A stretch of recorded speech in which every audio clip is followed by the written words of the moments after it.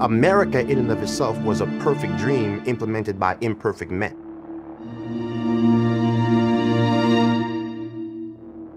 But the foresight of the founding fathers was to understand their innate imperfection and to create a system that was empowered with the mechanics for change.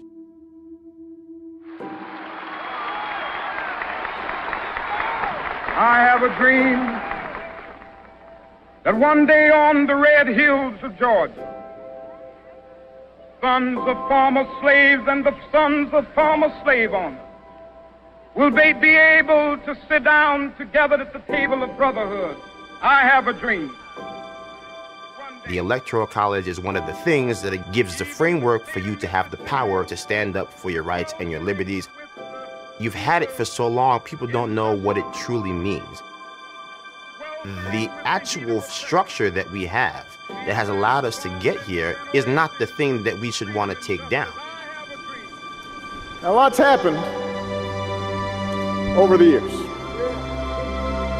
And while this nation has been tested by war and it's been tested by recession and all manner of challenges, I stand before you again tonight after almost two terms as your president to tell you I am more optimistic about the future of America than ever before. America was designed to protect individual rights. And getting rid of the Electoral College is the simplest way to make sure that we fall short of our potential. People have gotten stuck on the word democracy, but we are a democratic republic designed to cool the passions of society. That is what the Constitution was designed to do, and by extension, that is what the Electoral College is designed to safeguard. That's also why this experiment we call America has been so effective for so long.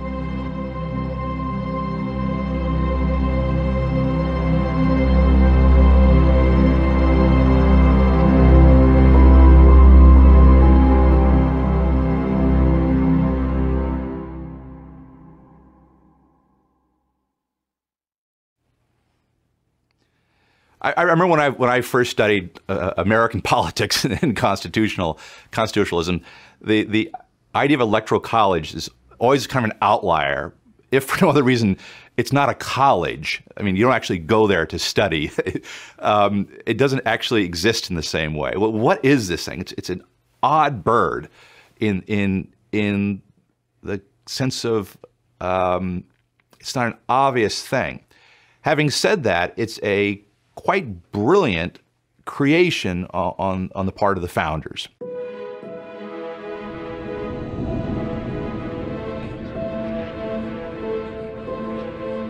After the American Revolution and before the Constitution, you have this period of time where we had a different Constitution called the Articles of Confederation.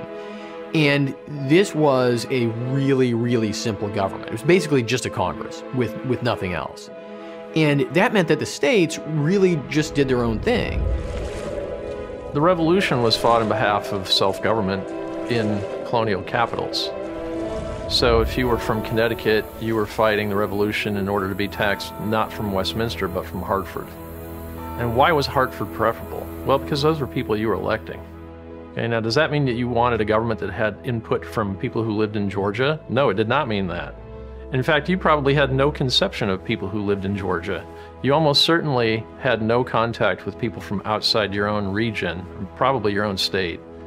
You'd likely never met anybody who'd been there. You'd never talked to anyone from there. You didn't even know what they sounded like.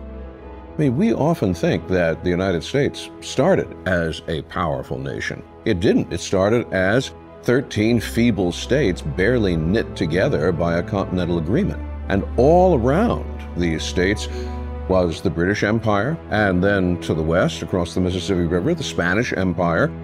The European states had not gone away. They were fully as threatening and present as they had been at any other time. And here were these 13 states making themselves weaker and weaker day by day with the way they argued with each other. And then people realized there's essentially no way that their states can vindicate the rights of people who live there unless they're leagued together. So this doesn't mean that you think uh, if you're in New Jersey, that you want New Yorkers to be involved in anything to do with the government you have. But you need to league with them in fighting this war. But that poses a problem because a lot of the rhetoric of the revolution is about home rule and not having excessive government, not having government that's not accountable to you and your neighbors. Why would you be fighting a revolution against distant, unaccountable authority and then trying to create a new distant, unaccountable authority? The founders saw that the democracy that was going on within the states was not doing a good job, in some cases, of protecting individual rights. So when they got together to create the Constitution, this was one of the things they knew they had to do. Although at the beginning they didn't know quite how they were going to do it, but they knew they had to create a government that the power comes from the people, but also a government that couldn't oppress the people. And that was what set them down this road of writing the American Constitution.